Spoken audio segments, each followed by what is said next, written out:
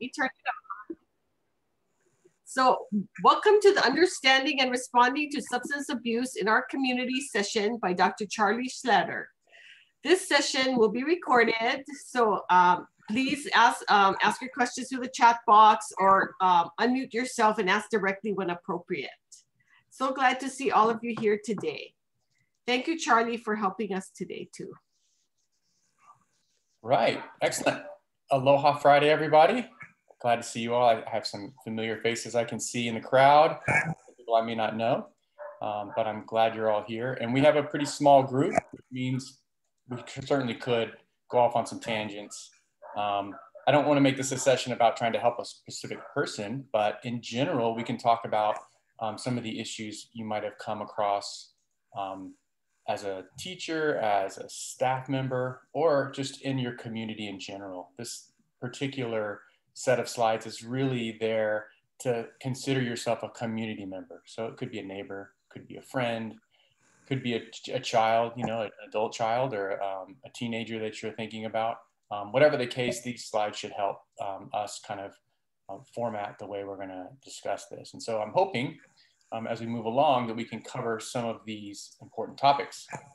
Um, we're going to look at what substance abuse is, um, how many people in our communities tend to have this issue, uh, what are some of the risk and protective factors involved in that. So how can we both see where people are more likely to get a substance use problem or um, protect themselves from that.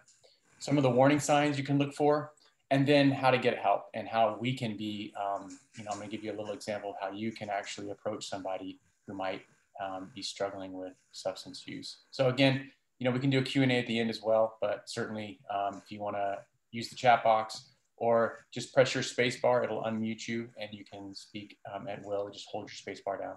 And I'm happy to have everybody um, be a part of the discussion. All right, any questions for me as we start? All right. Um, just a quick little background. You know, I've been in the mental health field for I don't know how many years now, 20 something. I have to quit counting, but uh, long enough to see a lot of substance use issues. Uh, it didn't require me to be in a residential treatment program, but I certainly have worked in community based facilities that do provide substance use treatment. Uh, but I would say anybody that works in this field has, has seen um, clinically seen substance use and the problems that occur around it. But certainly, each one of you individually, um, I would have a hard time believing that you haven't known somebody, if not yourself, struggle with a substance use issue. So, um, this also, you can use your own um, experience and, and wisdom to take this information and try to fit it in what you already know. Okay. All right. So we have to start out with what, what do we mean by um, substances or um, substance abuse? We have to look at the actual substances we consider problematic. And any, anything you can put in your body that impacts your brain and its functioning would be considered a psychoactive substance. That's what we use, the term we tend to use. The biggest one being alcohol, the most prevalent, as you'll see, and the most accessible and the most widely used in our community. Um, second to that would be cannabis or marijuana, um, more and more considered a um, quote unquote um, recreational drug in our society. And I think that that trend is not going to stop. I think we're going to continue to see marijuana look um, accessible um, along the same lines as, as alcohol. Okay. And then we have lots of other ones, tobacco being the third, actually tobacco being really the first in line for um, some of the problems that occur around the use of its um, of that product. But certainly tobacco we consider um, uh, an issue, uh, an addiction, and we, we treat that as well. So next in line, heroin and all the synthetic opioids. These are you know not just you know shooting up heroin in the street, but taking OxyContin or some other painkiller that's an opioid um, in ways that are not really for the intended purpose. And we're going to talk about how that kind of goes from um, the adequate use or the correct use of a substance into actual abuse. Amphetamines, um, this is also a really, unfortunately, a really popular um, drug class here in, um, in Hawaii, methamphetamine being one of those substances. Um, these are stimulants that um, usually wake the, the body up. Cocaine, sedatives and tranquilizers are not as common now nowadays, but they're still around. Um, ecstasy or um, MDMA is also another substance that's kind of re-emerging in our society, especially with younger people. Um, it was around when I was in high school, and then it kind of had a, a quieting downtime, and it's back. It's, it's getting it's coming back with a vengeance. Hallucinogens, mushrooms, um, acid, those kinds of um, drugs are also considered, um, you know, part of the category sometimes of illicit drugs. But certainly, um, hallucinogens have been getting a lot of um, attention lately as a possible treatment. I don't know if you guys have heard about this, but there's been some more recent studies about using hallucinogens, um, uh, mescaline, and um, some of the psilocybin um, mushrooms to actually address depression and other mood disorders. So interesting. So you'll see many of these substances, the history of these substances have had some purpose in our medical community, our treatment community, and at some point fell out of favor because of the addictive qualities of those. Um, bath salts, this is another kind of crazy substance that we've seen in our community um, come and go. These are, you know, um, you know, these are humanly developed cocktails that people use to get high and are extremely corrosive and problematic for the body. Um, you, know, you might have heard of uh, spice is another one of those kind of that fits in this category. These are, you know, um, artificial substances that people have created, um, usually, you know, produced in, you know, countries like China, for example, and then sold in some fashion, um, you know, over the counter in ways that kind of elude the DEA for a period of time before they pull them off the shelf. So that's bath salts is one of those. And then inhalants. This is a common um, you know, sniffing glue, gasoline, paint. These are all another, again, commonly um, available substances that you can get, you know, in your, in at Home Depot, for example. And um, these come in and out of favor, especially with young people, very young people. Any others? Can anybody else name a, a psychoactive substance that you've heard of that is kind of in our um, in our ecosystem that people are using to get high? No? Did I cover them all? Wow. There's always some new one that I haven't heard of. Um, and there will always be new and, well, for some people, an exciting new drug to try um, that we will be artificially creating in our labs. Um, but we've pretty much found all the natural ones. So what you'll probably find is people trying to um, create artificially drugs that somehow mirror the effects that some of the natural drugs like, you know, alcohol, marijuana, um, even amphetamines come from a naturally occurring substance. That's where the formulas come from. But we'll, we'll be seeing those continue to be created in our society. I'll tell you about the one I'm, I'm thinking about, and that is, um, uh, that is, uh, I'm gonna see if you can guess it, the newest public health crisis. Um, almost 3,000 hospitalizations in 2019 with 68 fatalities reported from the use of this particular drug um, most commonly used in the young community. Um, do you know which drug I'm talking about? You want to take a guess? Is that it's the vape? What's that? Vape. Vaping. vaping. Very good. Wow. Nice, Moana. Yes, vaping. Um, this one is that was 2019 stats. I bet 2020 stats are through the roof at this point. Um, we still don't have a lot of um, you know regulation around this particular drug um, obviously, or this particular um, method of using nicotine primarily, but kids are using uh, vaping devices to consume nicotine, um, cannabis, and we're even finding them trying to, to, to actually use this to, um, to ingest other drugs. So it's kind of a scary situation that I'm concerned about, certainly. Um, and it's, it's a primarily a young person um, phenomenon. You know, kids as early as 10 or 11 years old are getting access to and using vapes. So um, we'll have to keep an eye on that one, but that's another area that um, we're looking at as far as, um, you know, methods for, for using substances that are addictive.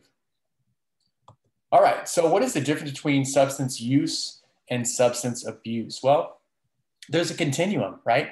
Um, how many around here drink wine or beer? You can raise your hand. You can, you know, right? Just Mary. Mary's the only one that, okay. Thank you, Kelly. Yeah, right. Okay. Thank you guys. Right. So most of us in this room, I bet at least half of us, um, regularly, even if it's only um, occasionally, you know, once a week or once every a couple of weeks or just socially, um, consume alcohol, right?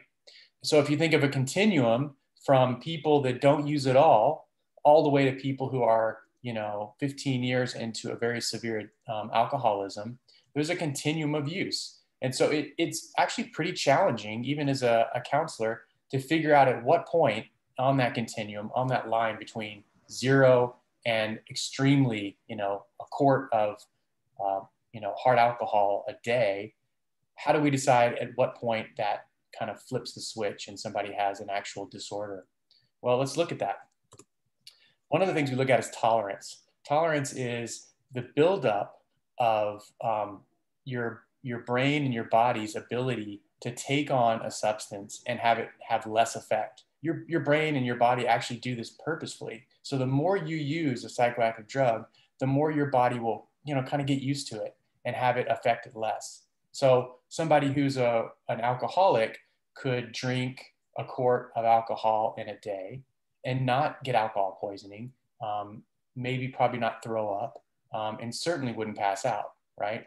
Whereas somebody that's really new to drinking, if they drink that much, they could actually easily, you know, go into a coma, right? So tolerance is, is one of the markers we look for. Um, and it's just a natural process your body goes through. Related to that, um, the dependent side is is this idea that you your body craves and desires that drug. And so if you think of tolerance, tolerance is your body getting used to a drug. And the minute your body gets used to the drug, it in, in a sense, it gets used to having it in its system. And the minute you start pulling back from that, your body starts to feel that through signs of withdrawal typically. Right? so we look for tolerance and dependence, and that's specific to withdrawal. But what we're finding out over the years is that those two areas, um, those two um, signs that we look for, are really not as powerful as the, the actual reinforcement of the drug. So, what is reinforcement? I think of reinforcement the same way I think of um, the way we um, condition our, our kids or our dogs or whoever we're trying to train how to how to do something that we want them to do right so if you want your child to eat all the vegetables on their plate for dinner time, then you'll you'll ask you'll let them know that they could have dessert at the end, right?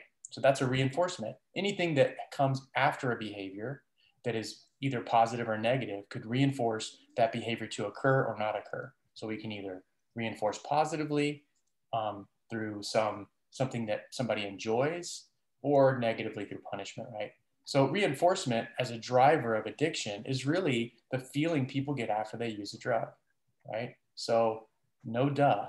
Anybody that's ever um, been involved in, you know, whether it's drinking alcohol, smoking pot, or any other drug, um, once they experience that effect, what it, what effect it has on their brain and their body, and if they like it, then that could be considered a positive reinforcement for them, right?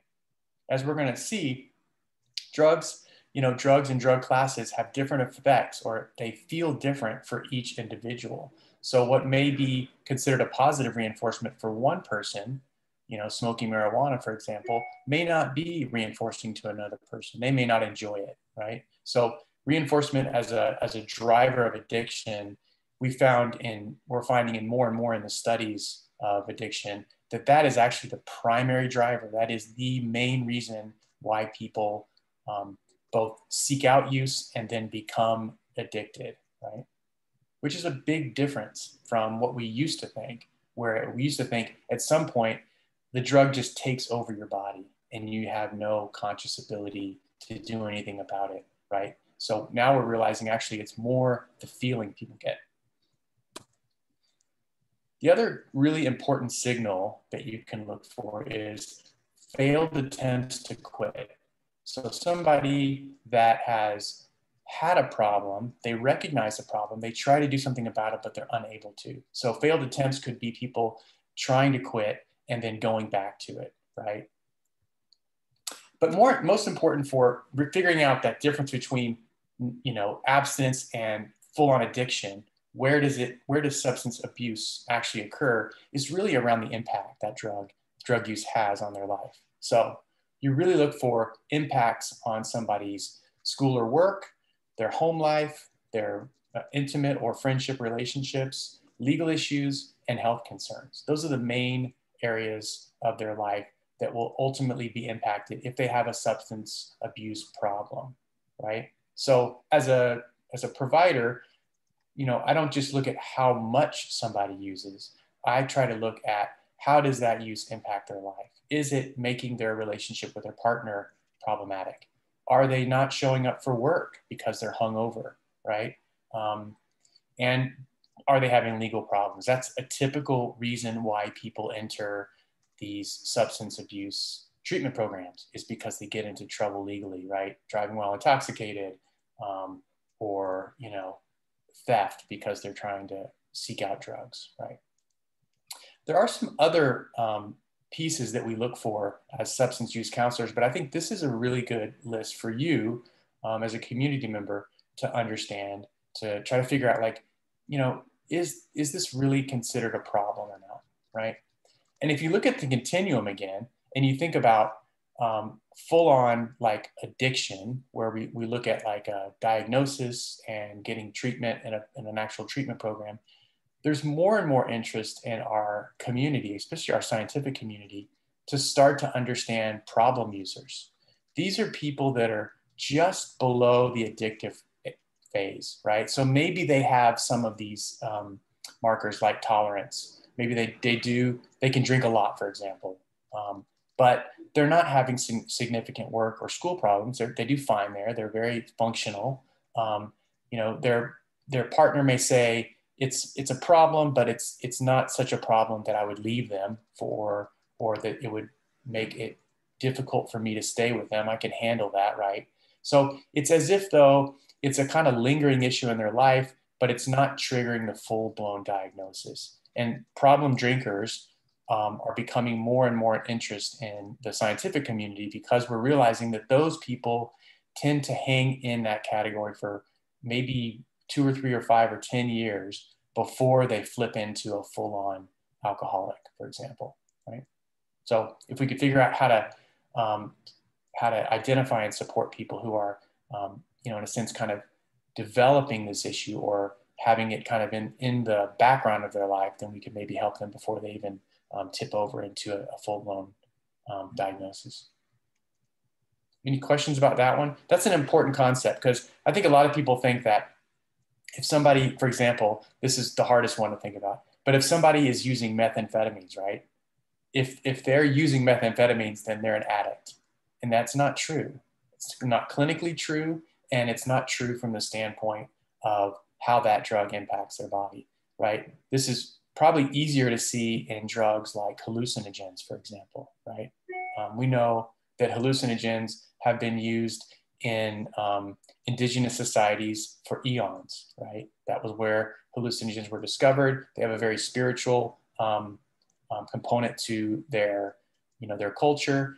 And there are ways to use psychoactive drugs in ways that are not considered abuse. Now, do I ever encourage anybody to use methamphetamines um, in their daily life? No, of course not. Um, but we do have to understand that there are people out there that are using that are not necessarily um, addicted. And let's look at some of the statistics around that here. I think it's the next slide.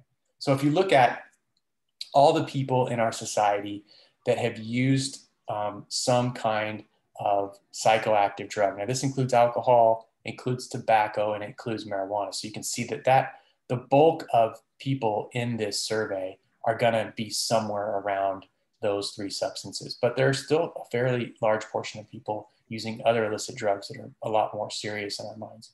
So you can see that the, the pie chart here shows in the brown, the light brown, those are all the people in our community that that are, you know, that in the last 30 days have used some kind of psychoactive substance on that list we showed.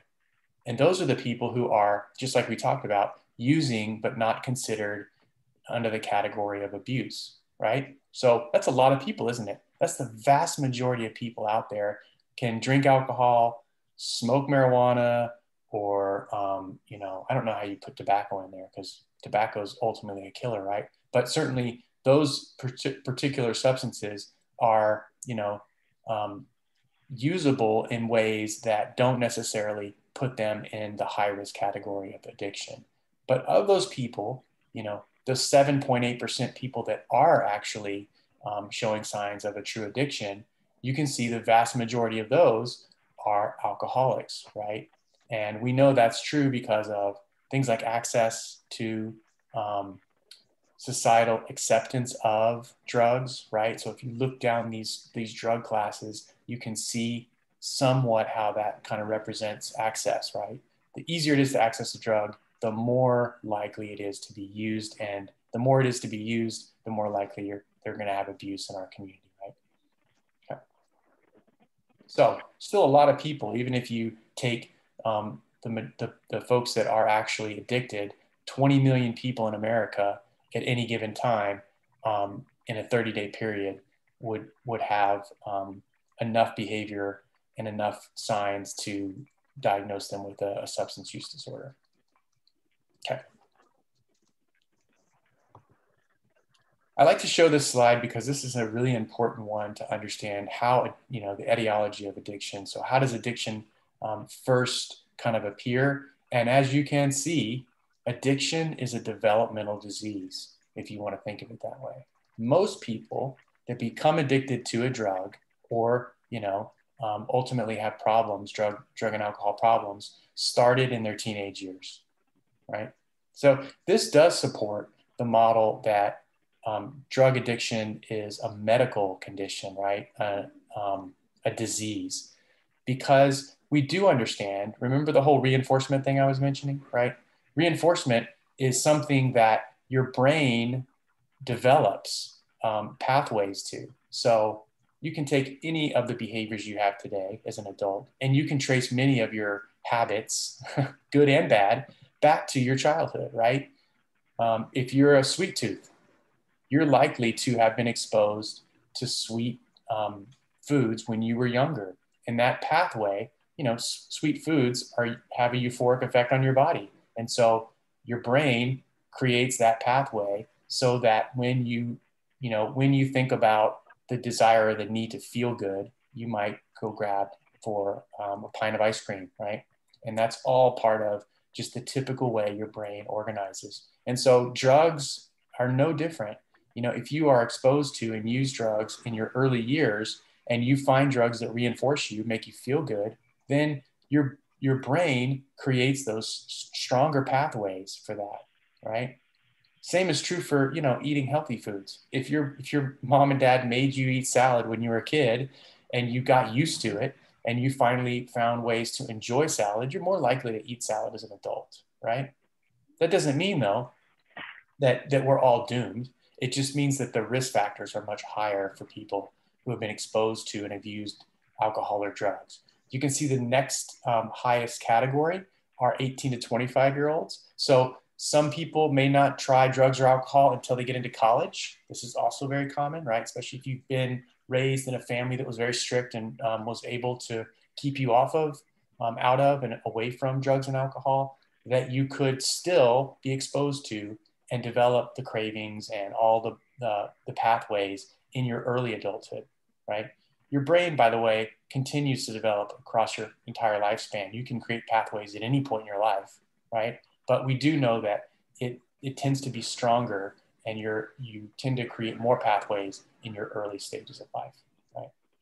And I think the other thing that I really try to teach parents is to understand that, you know, if you think of, as we'll see, um, you know, you know, reinforcement of drugs as a way to cope with problems, right? If you, you know, if you find a drug that makes you feel good when you're when you're down, then the other the opposite end of that is if as parents we can find ways to give kids tools to help them manage their stress, um, deal with mood um, and problems in their life, then they're less likely to use that particular solution, right?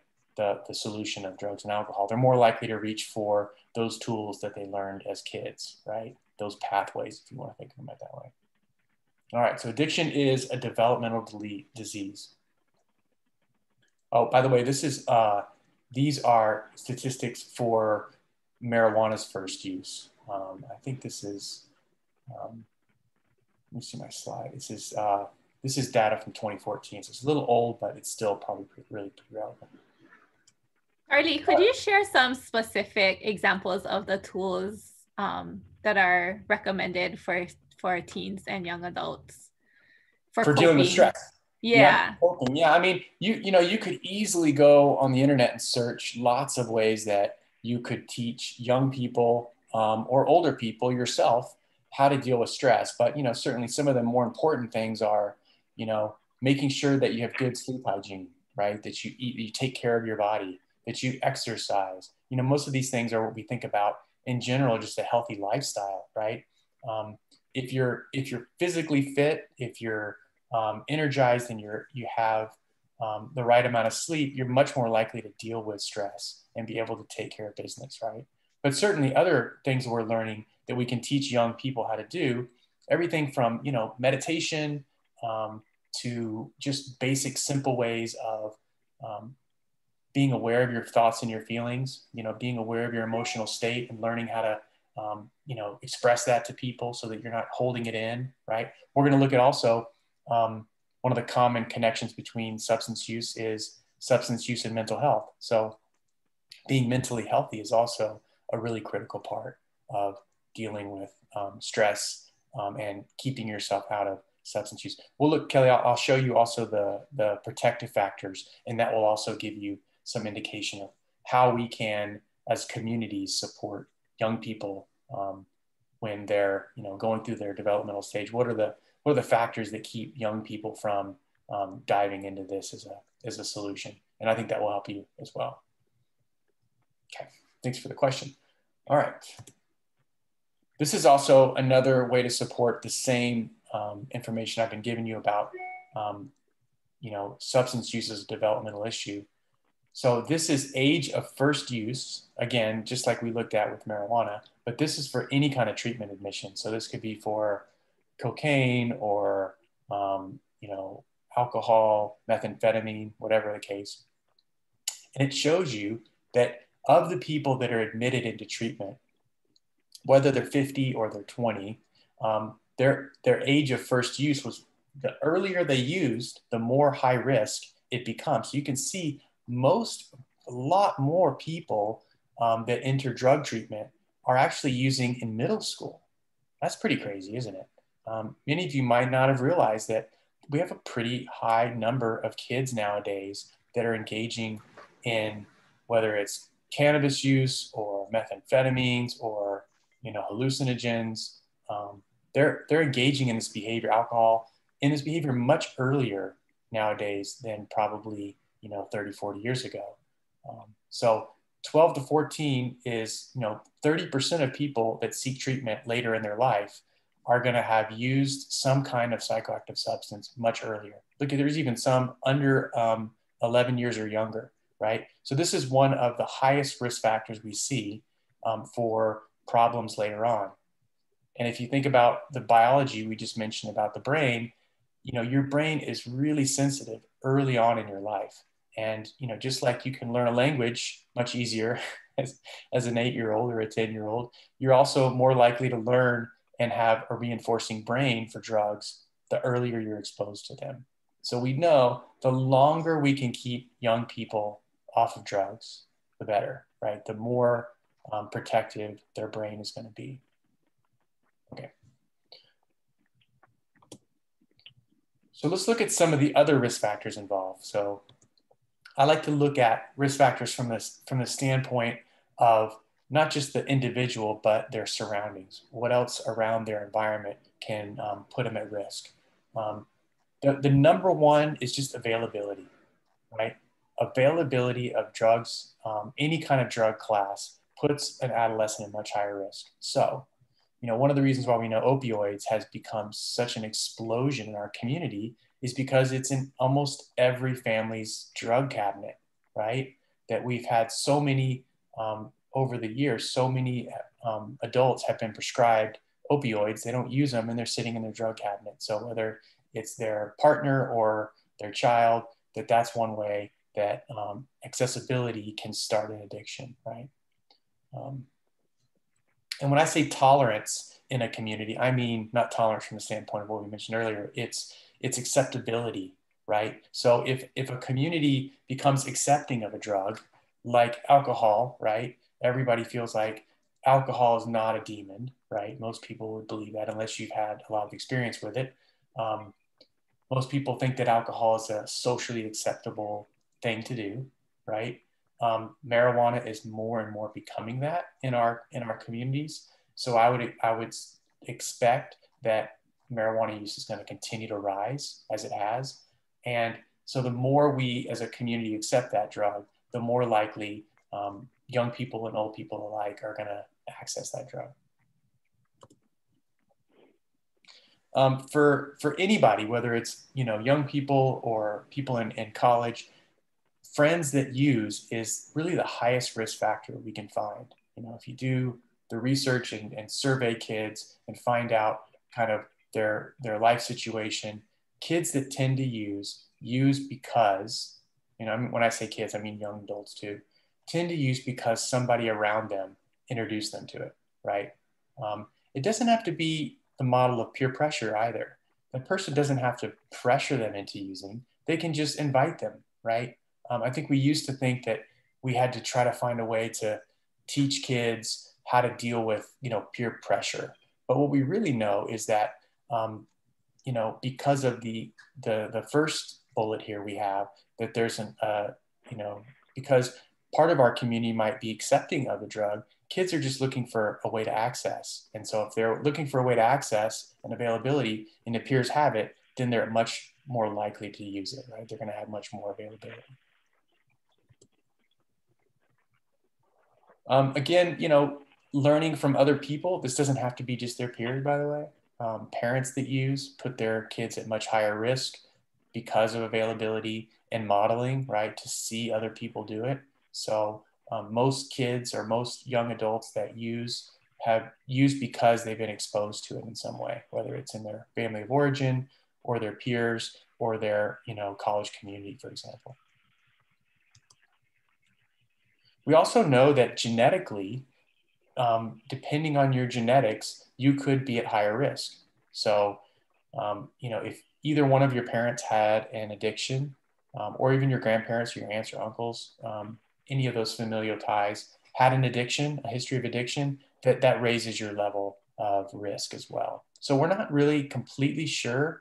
You know, we haven't like found the genetic piece in our genetic code that that specifically relates to that. It's probably several different um, parts of your genetic code, but we do know that it must have to do something with how those how that drug or drug class, specific drug class, um, you know interacts with your brain your, the chemistry of your brain right you know one of the interesting things we know about you know like marijuana for example is you can line up 100 people right and and get them high for the first time right? In various ages doesn't matter what age.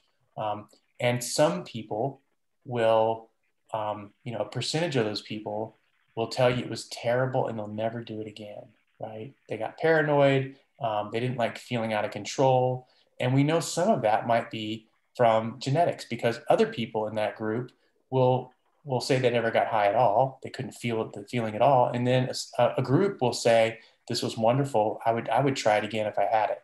So we don't know the exactly the the biology around that other than we know that it must have to do something with genetics and the way we metabolize and, and process that drug. So that has to do with sensitivity to the substance as well. Um, and then again, other mental health problems, and we're going to look at that in just a second. So, mental health and substance use um, do tend to kind of, um, you know, overlay on each other.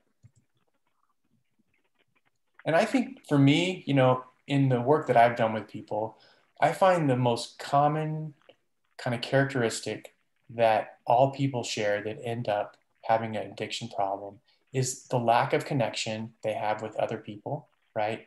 Kind of falling out of society in some way. Could be that they lose their job, and their job was a big part of their identity.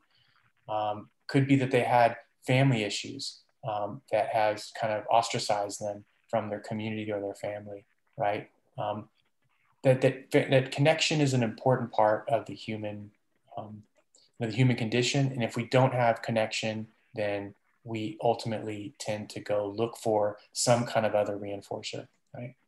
And then the other part to that, connect to that, is just life purpose in general.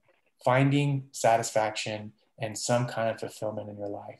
If you don't have that, then you're at much higher risk for using substances because substances can, especially the more um, um, you know intense substances like heroin, for example, or opioids, um, can really kind of fill that void for a very short period of time, and then you're always trying to fill that void, right? You're always trying to find a way to create that feeling, that sense of of enjoyment, right? And life purpose tends to to to provide that that enjoyment in your life. So that's my that's the one thing I look for when I work with people is where you know where do you fit in these two areas of your life, your social life and just your sense of kind of where you fit in the world, your niche, right? Charlie, it seems to me that that's almost the most important thing that we can do, right? Is to help our students try to find a connection and a sense of purpose yeah. for being here because if you're an adult if you're an adolescent your brain isn't fully formed so all of these rational arguments about genetic predisposition and peer influence and the right. negative aspects of starting young like that's not going to really resonate because they're not perhaps even able to think rationally without a fully formed frontal lobe and so it yeah. seems like, yeah. like that is the best thing that and just kind of getting back to kelly's other question right that that seems like the best way we can be useful is to help them find their sense of purpose and um, reason for being in connections. Yeah, you know, I mean, I use, if, if you go back to this list, I do use some of these areas like genetic predisposition and, and sensitivity to the substance. I think these are actually really important parts of um, understanding substance use, only, not because you can do anything about it necessarily. If your if your parents or your uncle were um, were addicted to drugs, it's not as if though you can take that genetic code away through you know sheer will but it does mean that it helps the individual or a teacher or whoever is working with this person understand that that elevated risk. So for me it's kind of like what if you know what if you knew that your your parent had high blood pressure right? Um, you would probably if you were if you could take that information in and then know how to kind of protect yourself then you would know that it would be more important for you than other people to be careful about your diet and exercise and deal with your stress. So in some ways, that that's there really just to know um, as information that I want to I want to be able to lower the potential risk factors, or at least be aware of those risk factors, so I can kind of layer on more protective factors. But you're right. I mean, as as I think as faculty or as people working with young people, one of the best ways we can kind of address or support students is to try to help them make connections in life, right? And so, obviously, as a uh, you know, as, a, as an instructor, we have a lot of opportunity to put kids in situations where they can experience new ideas, um, maybe possible career options, get them stoked on something, right? And that's certainly something that I always think about when I'm working with students: is how can I um, put something in front of them that can light light up their imagination or get them interested in, in an area that they weren't before. Very good, thanks. Okay, so looking at the risk and protective factors. So risk factors are anything that add to the possibility of something happen. And then protective factors, as, as the word says, kind of can protect or shield somebody from a problem. So this little, um, you know, this little uh, chart here yeah. Shows the peer versus in the family. How can we or how can the how can friends um, and how can family either lower or higher the risk of substance use? Um, and as i mentioned before for peers it's just having um, the highest risk factor is having somebody um, close to them that is using right? But you know anything around you know um, you know some of the other ways that we know that put kids at risk, whether individually or as a group, are some of the impulsivity that's, that's part of adolescence, right? Uh, makes a lot of sense, right? The more impulsive you are, the more likely you are to try a drug. And then once you try it, if it works for you, if it's reinforcing, then you've set yourself on that path, right? Um, and some of the obvious ones like antisocial um, kind of peers, you know, delinquent kind of peers often run in groups with substance use, right? Um, so those shouldn't be all that, uh, uh, you know, surprising to you. Again, the other one is early onset. So the earlier a, a, a person uses a, a, substance or tries psychoactive drugs specifically to get high, the higher risk, right? Um, and then protective factors, you know, certainly we know that all kinds of social groups, you know, just like antisocial groups, pro-social groups can be really impactful for kids. So whether it's a, you know, um, you know, a church group or, you know, some of these community centers that kids have access to that they can go to, um, sports, for example, anything that keeps a kid busy, we all know that really does help protect them from, you know, time where they could be uh, exposed to and accessible to drugs, right? Okay.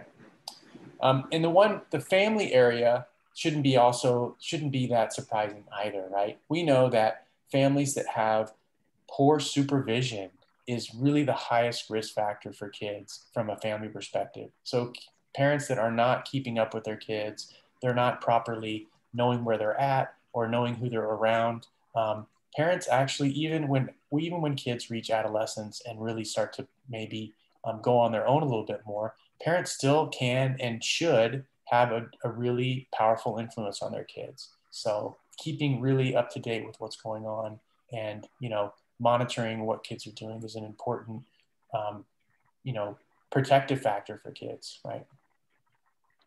You know obviously parents own attitudes and behaviors around substances can either put the child at risk if the, if parents use and are accepting of drugs or can be a protective factor if parents are really clear about their expectations um, and their own behavior around drugs and alcohol, right? Okay. And then lastly, I'll say the one thing that I found interesting about, you know, I've done a lot of family work um, in, you know, in relationship to drug abuse with, with teenagers is that when teenagers and their parents or young people and their parents have a good relationship, right? They're connected, they talk to each other, they're open in their relationship, they're able to you know, bring up whatever issues they have, that those particular individuals that have strong family ties, attachment, have a much lower risk of substance use, right? And if they do um, ultimately find themselves struggling with substance use, they're much more likely to reach out and have support, right? So that's where you really need to think of, you know, as a, not just as a parent, but as a neighbor or as an instructor, to the extent that you can create emotional um, attachment, connection to individuals, they're more likely to, um, you know, like we said, you know, find meaning in their life and be willing to reach out if they have a problem. Okay. Any thoughts about that? Anybody?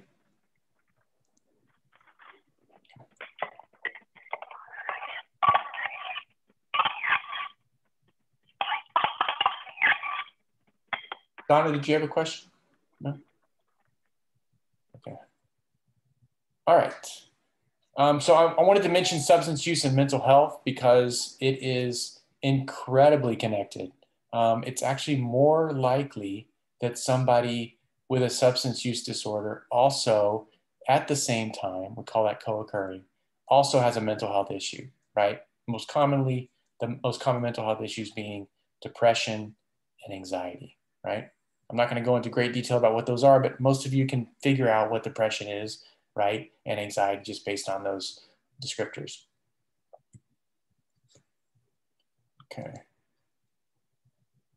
So one of the ways that we find this, um, this happens is somebody ends up with um, struggling with a mental health issue, right?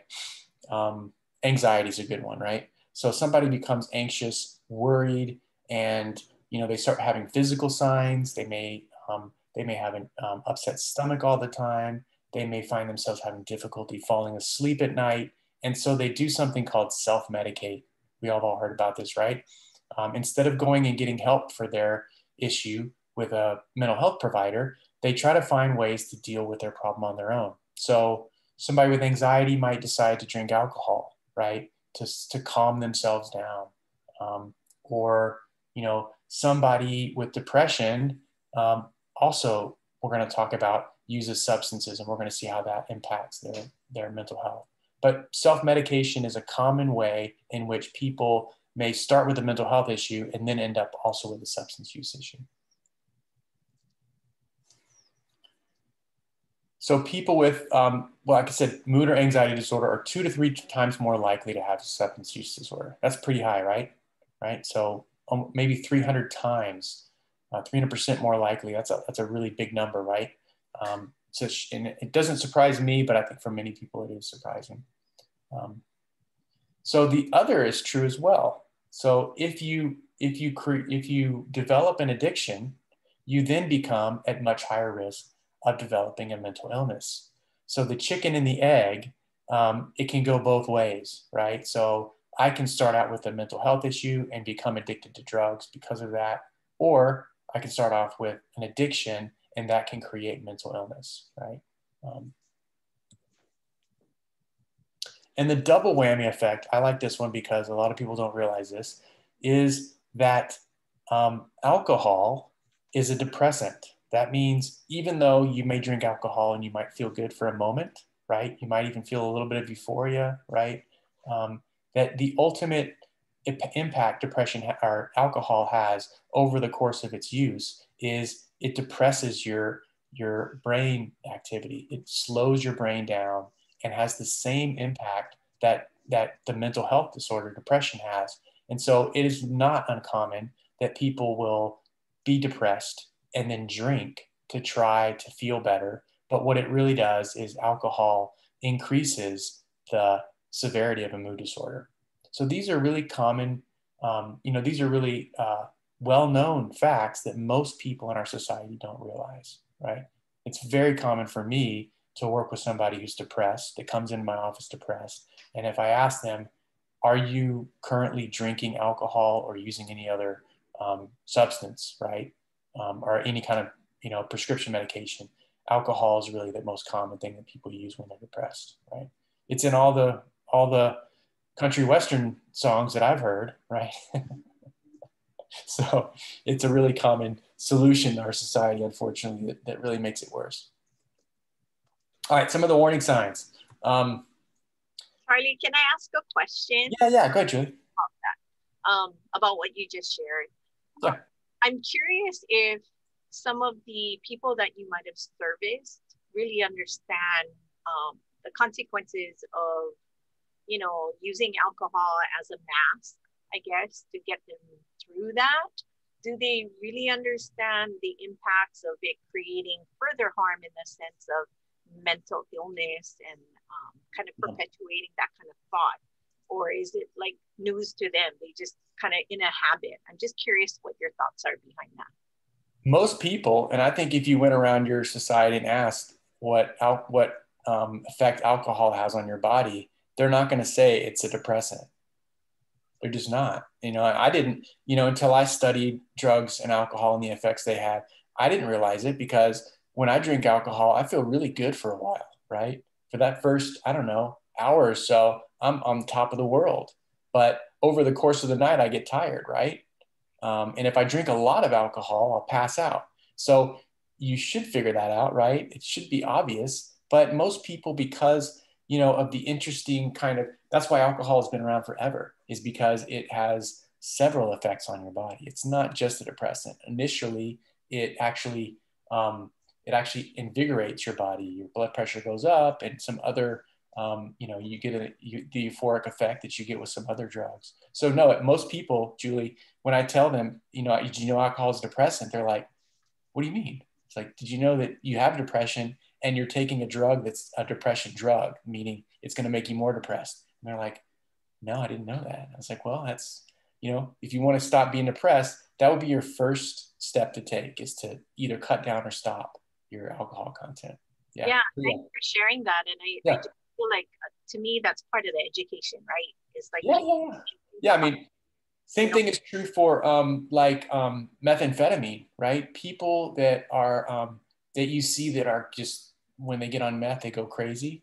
Right. Most of those people are probably already anxious, um, you know, just naturally an anxious person. So their body is already wound up. And then when they do methamphetamines, it just takes them, you know, way over the top, right? Yeah. Thank you. Yeah, thanks for that. Thanks. So the double whammy effect. Like yeah. All right, so warning signs. These are just a quick, we already kind of covered these in some ways, but let's just um, remind ourselves. Increased substance use over time. So if you or you or somebody you know, you've noticed that that substance, um, they've been drinking more or smoking more, or you just you just have a, um, a suspicion that they've been using more over time, that's problematic. Um, and that's related to tolerance too, right? Not just using more often, but using more of the drug is also a, a warning sign that they're developing an issue, right? And difficulty controlling use. So this could be in the form of wanting to quit. Um, you know, you might have you might know somebody in your life, or you might yourself have said, you know, I'm going to stop doing this. I want to stop eating poorly, or I want to stop whatever. You know, if if you can't stop on your own, that is a, true sign of something that's beyond your control at this moment, right? And most people think of addiction as a, a loose, a, a loss of control, right? Symptoms of withdrawal. So people who um, use a drug regularly and then for a period of time don't have access. It could be that they've chosen not to have access, or it could be that they're not able to find the drug for a period of time or they don't have the money for it. Will will actually, if they have that dependence cycle, will actually start to have withdrawal symptoms. So if you're interested if you find that you're scratching your head about some of the symptoms you're seeing, you can go on the internet anywhere and find different withdrawal symptoms for different kinds of drugs, right? So opioids have, have their own, so like, you know, um, not just heroin, but, you know, all the Oxycontin and all the prescription drugs have their own set of withdrawal symptoms. Um, alcohol has its own set of withdrawal symptoms as well. Um, and a quick question, how many people know what two drugs in our society you can die from if you try to quit cold turkey? Anybody know what those two drugs are that are most commonly you can die from the withdrawal symptoms? There's two of them that are really common that people can and, and do die from. One of them alcohol. is really, alcohol is one of them. Thank you, Shannon. Yes, most people didn't realize that. Um, if you if you've been drinking that quart of alcohol um, for even a couple of years every day and you have to wake up and drink right? To feel okay.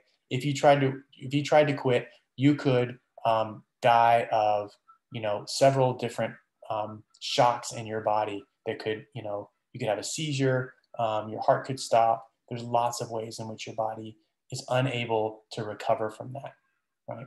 So opioids is the other one. You can die from benzodiazepines but it's very uncommon um, but there are ways to support somebody who wants to stop drinking if they have a, a, really chronic, very severe issue through detox. That's what you've heard of the detox programs. That's what those are for. Preoccupation with the substance. This is another, um, this is just a different way of talking about one of the signs we look for um, as substance use counselors is thinking about going about the business of getting and using and planning out my day based on getting high, right? And people that are chronic users, um, you know, chronic marijuana users do this, right? They spend their day thinking about when they're going to get high, when they're going to get their drugs, um, you know, when they're going to get their pot, um, and they think about and talk about it a lot. So people that are really preoccupied with substance use, um, it's a it's a regular daily part of their routine, right? Giving up important activities um, in to replace them with substance use. So somebody that used to uh, paddle, used to surf, used to have um, social groups that they were a part of, and all of a sudden they start withdrawing from those groups. You know, with a college student, you know, all of a sudden just not turning in work, right, or going to class. These are certainly signs that they could be developing um, a substance use problem, right? And then continuing even after recognizing the problem.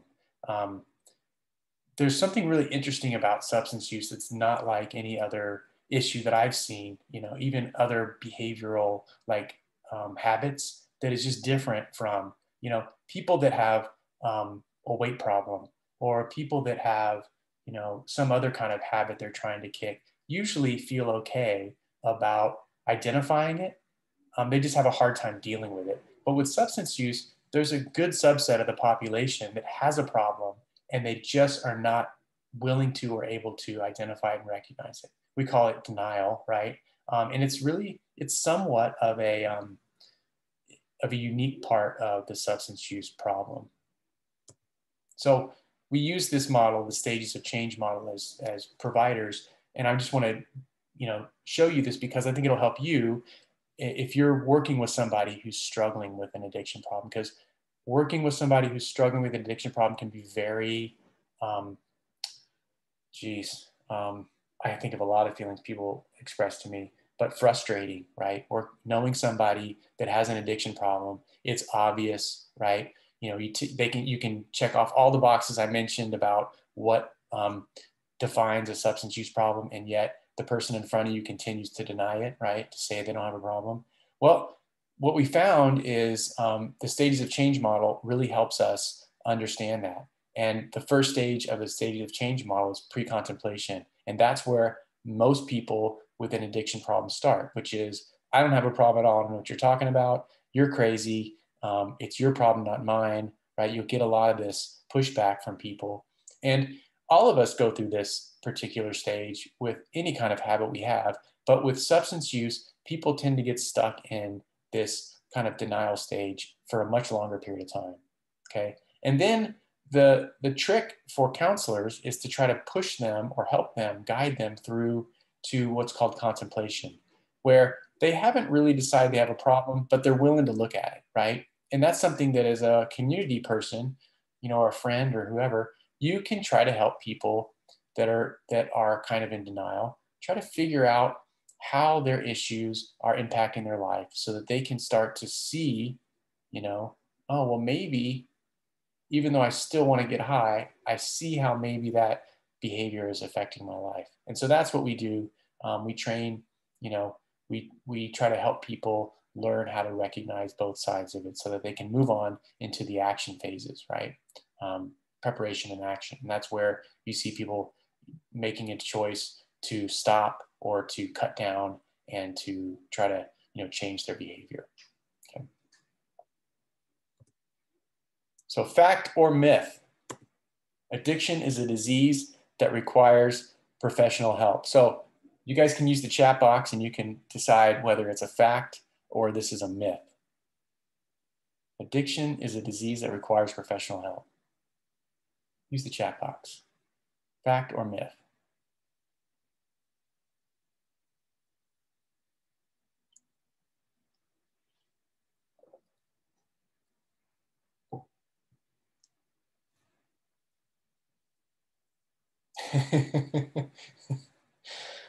Mary says, hmm, fact.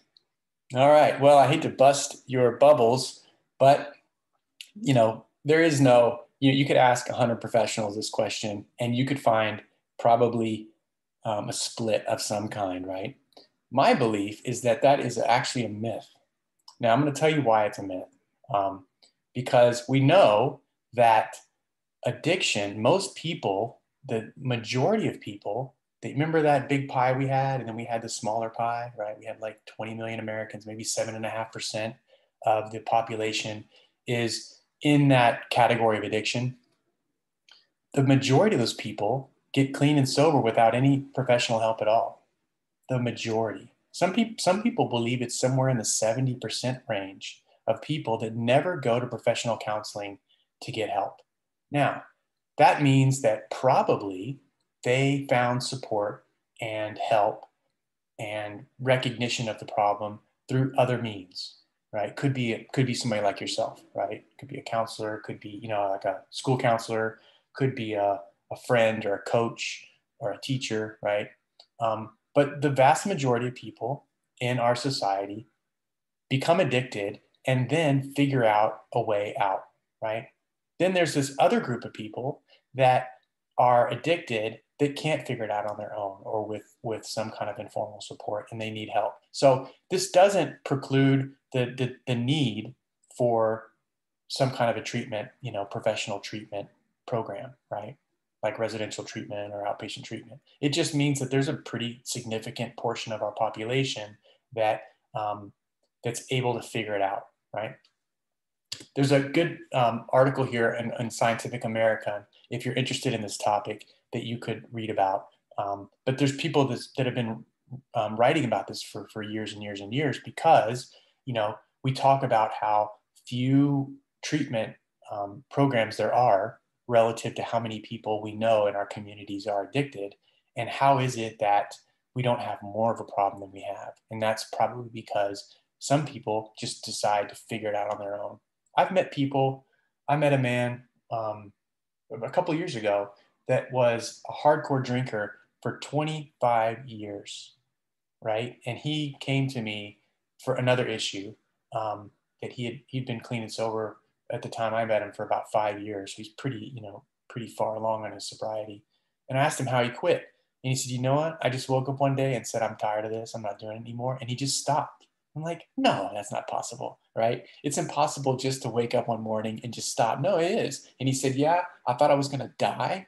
I, ne- I didn't go to detox. Um, I was I was a you know an early morning drinker, and I I just white knuckled it. I was like, wow, man, that is amazing. And those those stories are all over the place. So don't be surprised if you meet somebody that said, you know, or, or if you if you know somebody that all of a sudden after enough issues in their life and enough people encouraging them to quit that they don't need to go to treatment necessarily. So I would always give people the space that they need to figure out how to get well. But certainly there's a big portion of people in our community that can't do it alone. There's no doubt about that. I know people like that too, right? All right. So how do you approach somebody that um, might need help?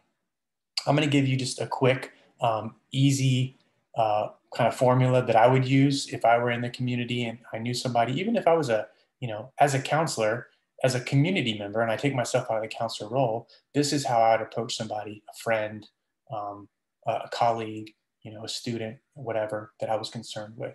You begin with a concrete statement. So you need to really think about what it is that has gotten you to the point where you're concerned, and you need to be able to express that in very concrete terms. So here's an example of a student that's been missing class, right?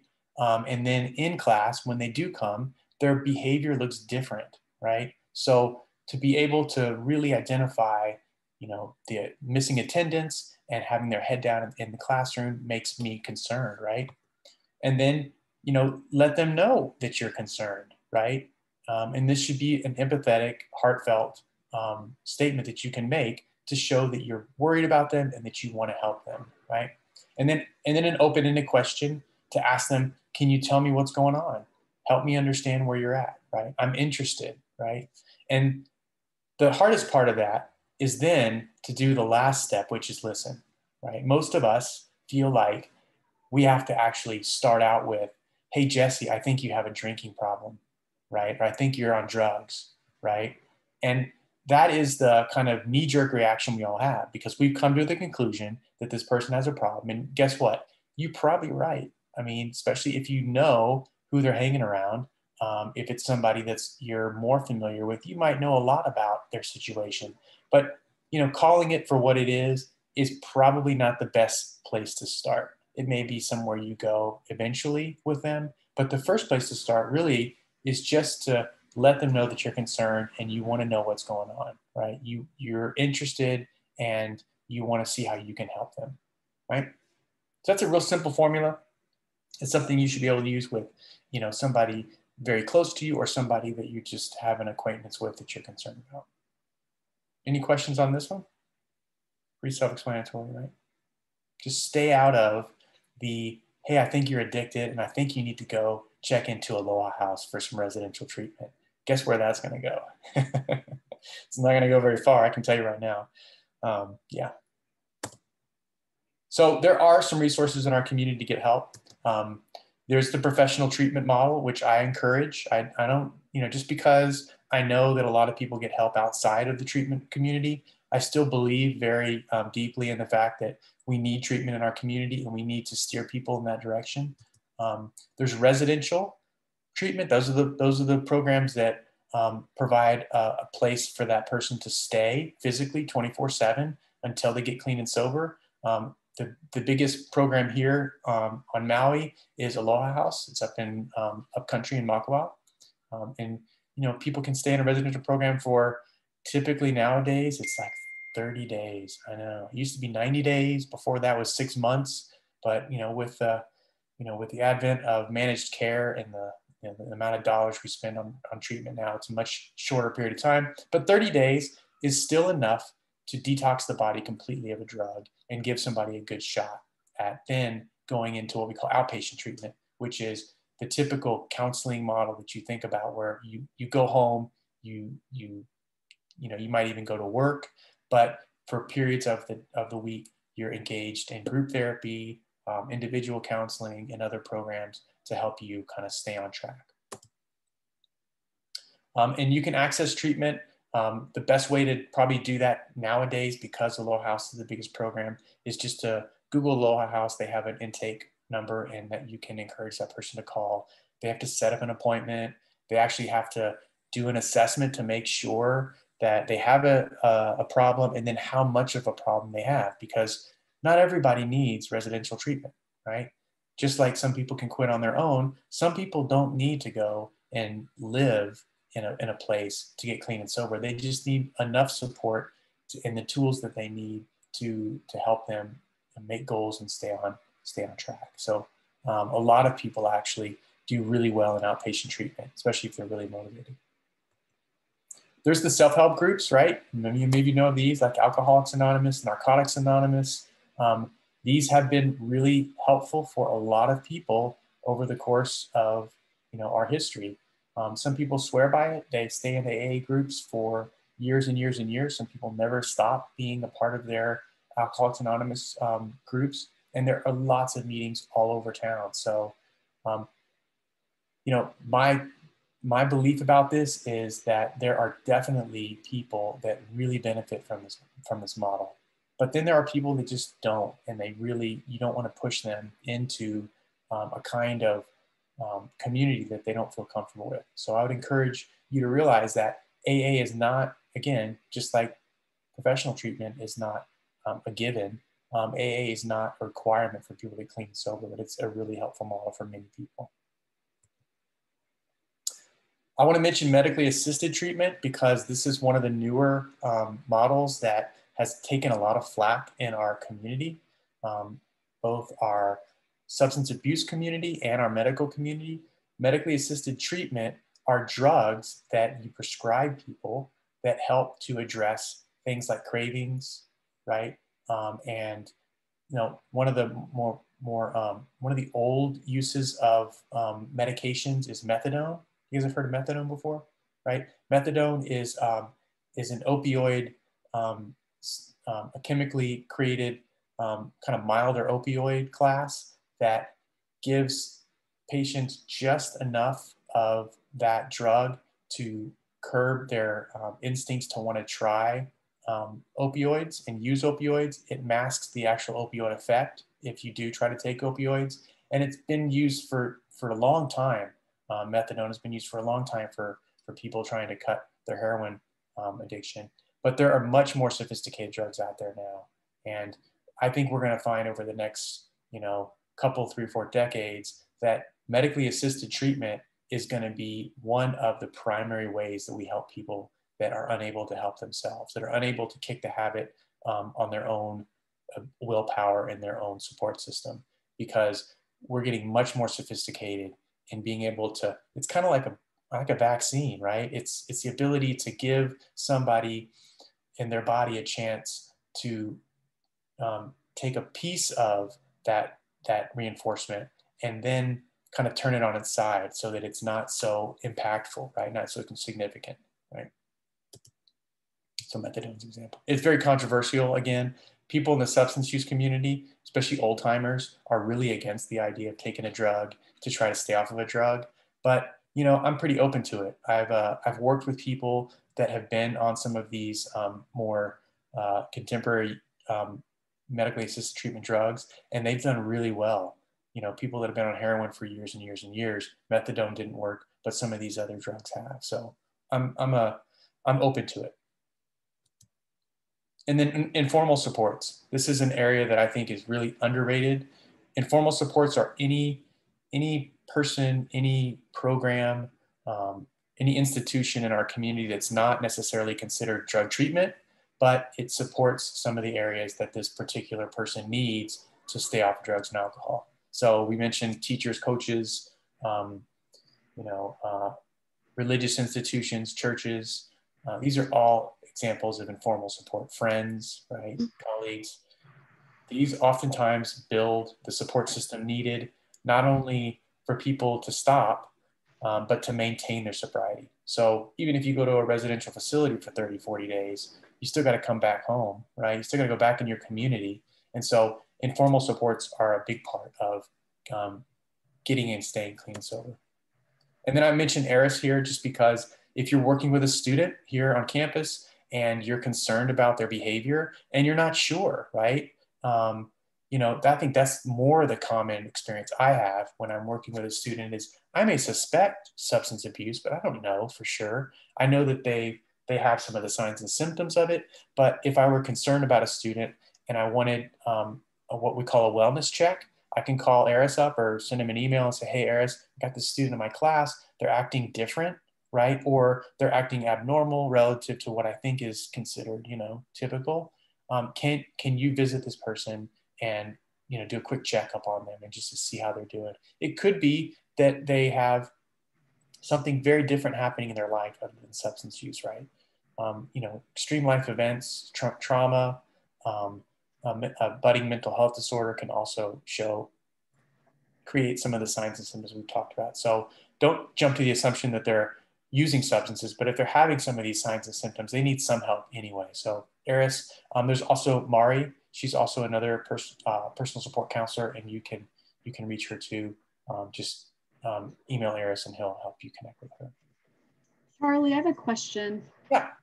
Um, my question is, does methadone help like wean people off of opioids so they can like kind of just wean themselves through these? Question. Yeah, good question. I do know people that have taken methadone for a period of time and then stopped. Um, but lots of people continue taking methadone for a much longer period of time. So, you know, I'm not an expert on that, but I, have I've seen both. I've seen people come, go off of methadone, but I've also seen people stay on for long term. Um, you know, um, I think sometimes this is where medically assisted treatment does need some more um, research and, and some more, you know, we need to figure out better how to use it because you kind of don't want to have somebody continuing to take prescription drug for long periods of time 10 20 30 years but i do know there's people out there you don't it's not um, out of the ordinary for somebody to still be on methadone you know two decades later yeah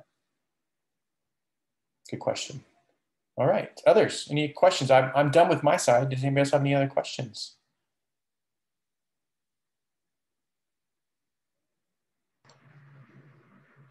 What's the best way to express concern without coming off as judgmental if the person kind of already feels attacked?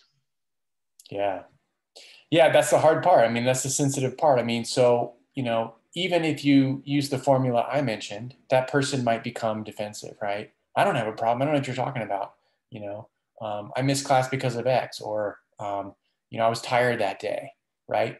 Um, you you aren't going to break through somebody who is who is has their guard up like that. But what you can do is just say, well, I'm here for you. I'm thinking about you, right? Um, you know, if you ever want to talk about anything, let me know. That kind of stuff right? So, you know, most of, you know, if you look at the informal support side and those people that did quit, right, um, they went through that whole process of denial themselves. And it, it's a process people, it's their journey they go through. So, you know, if it's your, if it's your teenager or if it's, you know, a friend of yours or, um, you know, if it's a student at school, your job is just to continue to stay connected to that person and continue to reach out as you see opportunities to do so right? But you don't want to every time you see him say, "I'm still I'm still worried about you," right? You want to you want to have a relationship outside of that conversation too, Right? Good question. Awesome. Wanted to get your um, thoughts, Charlie, on the term I hear people using more now um, drug misuse instead of yeah. abuse. Yeah. Yeah. And you think of the problem drinker is a good, um, is a really good, it's, it's, it's, the kind of the old school term for that, the problem drinker. Um, and it's getting more and more attention. But problem drinking, especially in the younger population, binge drinking, for example, right? You can drink till you pass out, and that's misuse but it doesn't necessarily categorize as addiction because it isn't hasn't taken a place over a, a, period of time and you're not you know you don't have built the tolerance built up and all that. But yeah misuse um, misuse can also be for example somebody even somebody who's been prescribed opioids right? So maybe i had um, let's say i had a surgery right? And they gave me 20 oxycontins which by the way you do not need 20 oxycontins to recover from surgery. Jesus Christ. Um, so I have, I, you know, I took three or four of them, right? Um, the first day, the second day, I didn't really need them, but man, shit, that felt good.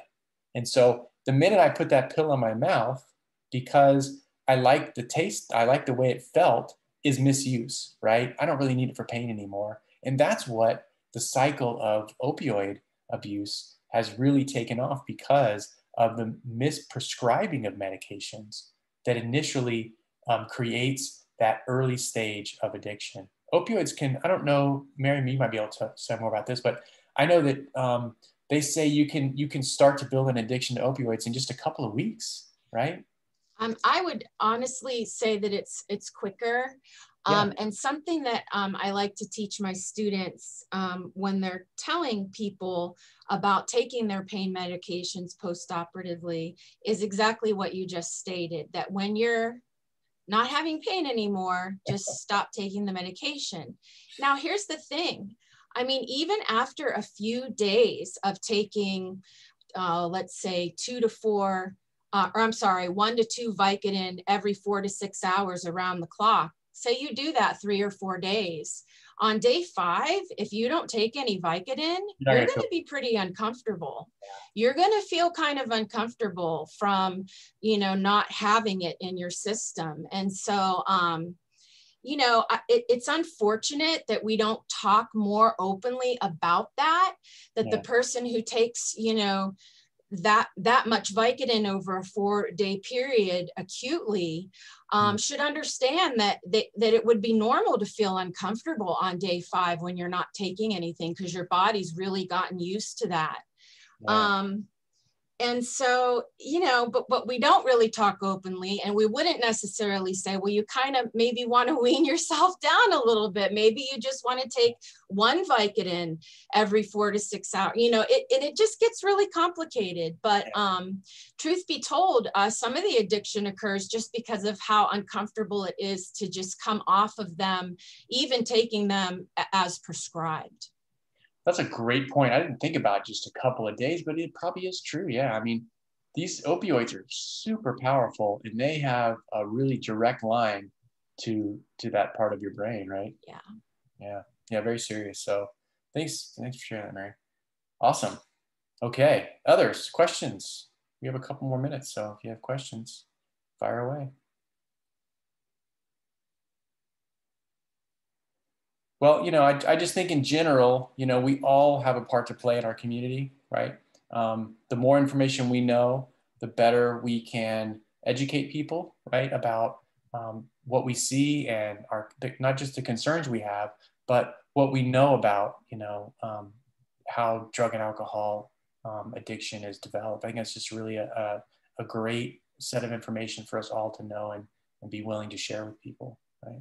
Hey, Charlie, before we end, um, could you just talk just for a second? Because I see you have um, AA up here and NA up here. Mm-hmm. Um, but you know, something that, that I think is really important for people to consider too, people who are trying to help those that are addicted is to um, know what know what Al-Anon is and Alateen oh, yeah. is, because sometimes the frustration that you experience from trying to help someone um, who is very resistant um, is going to get you to a place where you start to feel like you're crazy. yeah. And I mean, none of us want to, you know, start, you know, start using because, you know, we're so stressed out from trying to help somebody, you know, get their life back together. So I think that, um, you know, Al Anon is just worth mentioning. Yeah, good point. Um, and you can speak more about it too. I've, I've never been involved in Al Anon myself, but um, yeah. there are support groups out there for people who live with somebody who has a drug or alcohol problem. Um, and that's, you know, there's also some other groups that I think might be helpful. Like co- uh, codependency groups are really good for this too. And I think Al Anon covers a lot of that in their groups as well.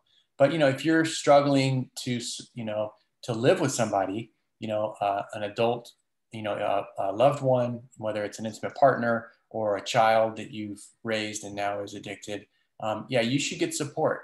And, you know, there's, I think Al-Anon, Alateen, is that for for parents who are raising teenagers? Is that no, right? no, it's for teenagers who have parents that oh, are okay. alcoholics. Okay. Yeah.